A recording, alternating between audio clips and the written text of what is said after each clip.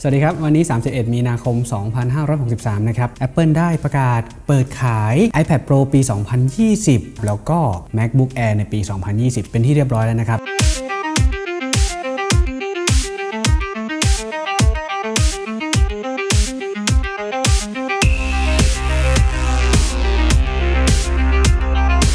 ในฝั่งของ iPad Pro นั้น เปิดขายเฉพาะในรุ่นของ Wi-Fi ก่อนนะครับ ส่วนในรุ่นของ Cellular นั้นจะตามมาอีกที ทั้งนี้ทั้งนั้นต้องรอการอนุมัติจากทางฝั่งกสทช ในประเทศไทยก่อนนะครับ ถึงจะสามารถเริ่มขาย iPad ที่เป็นรุ่น Cellular ได้นะครับ เดี๋ยวเรามาดูในรายละเอียดของ iPad Pro ปี 2020 กันก่อนนะครับ ในรุ่นที่เปิดขายนั้นนะครับ เป็นรุ่นของ Wi-Fi นะครับ เรามาดูราคาของ iPad Pro นะครับ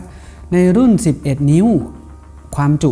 128 g b ราคาจะอยู่ที่ 27,900 บาท ความจุ 256 g b ราคาจะอยู่ที่ 31,400 บาท ความจุ 512 g b ราคาอยู่ที่ 38,400 บาท แล้วก็ความจุสูงสุดครับ1 t b ราคาจะอยู่ที่ 45,400 บาท ต่อมาคือรุ่น 12.9 นิ้วนะครับ ความจุ 128 g b ราคาอยู่ที่ 34,900 บาท 256 g b ราคาอยู่ที่ 38,400 บาท รุ่น 512 g b ราคาอยู่ที่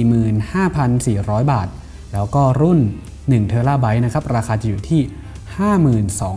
52,400 บาทนะครับ เราสามารถเข้าไปซื้อที่ Apple Store ออนไลน์ได้เลยนะครับ ผมแนบลิงก์ไว้ที่ด้านล่าง หลังจากที่เราสั่งซื้อ ภายในเว็บไซต์เขาจะบอกช่วงเวลาเอาไว้ ระยะการจัดส่งนั้นนานเท่าไหร่นะครับ ถ้าซื้อเร็วช่วงนี้อาจจะได้รับของเร็วหน่อย แต่ถ้าซื้อช้าอีกหน่อยก็อาจจะต้องรอไปอีกหน่อยนะครับ ดังนั้นใครตัดสินใจแล้วว่าจะซื้อรุ่นนี้ก็ซื้อไปเลยนะครับผม ส่วนใครที่ถือรุ่น 2018 อยู่ ลังเลว่าจะซื้อดีหรือว่าไม่ซื้อดี เดี๋ยวในคลิปต่อไปเดี๋ยวผมจะอธิบายให้ฟังนะครับ เดี๋ยวจะเปรียบเทียบให้ฟังว่าเป็นยังไงบ้างนะครับ ว่าควรซื้อไหมควรอัปเกรดไหมอะไรประมาณนี้นะครับผม ฟีเจอร์ต่างๆ ใน iPad Pro 2020 มีอะไรใหม่บ้าง ผมแนบรายละเอียดไว้ในใต้คลิปนี้ตามไปดูกันนะครับ ในคลิปนั้นผมสรุปไว้ค่อนข้างที่จะโอเคละ ลองไปฟังกันดูก่อนนะครับ ต่อมาในส่วนของ MacBook Air นะครับ MacBook Air ปี 2020 ถือว่าเป็นการ refresh ใหม่นะครับ จะมี CPU ให้เลือก 3 แบบก็คือ i3 i5 i7 นะครับ ราคาเริ่มต้นจะถูกสุดอยู่ที่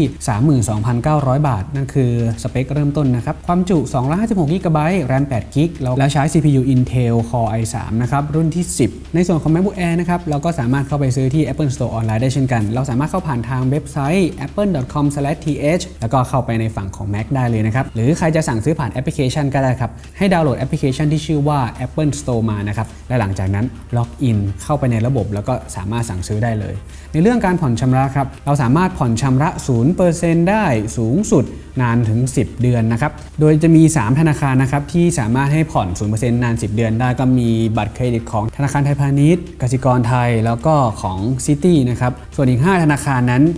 สามารถผ่อนได้เหมือนกัน แต่ว่าจะมีดอกเบี้ยนิดหน่อยนะครับรายละเอียดผมแนบไว้ใต้คลิปนี้ครับก็ตามไปดู มีอัปเดตไว้ให้เพียงเท่านี้ครับไว้เดี๋ยวคลิปหน้าเรามาพบกันใหม่ครับเดี๋ยวผมจะนำข้อมูลอื่นๆเพิ่มเติมที่น่าสนใจมาให้นะครับขอบคุณสำหรับการติดตามสวัสดีครับ Let's go.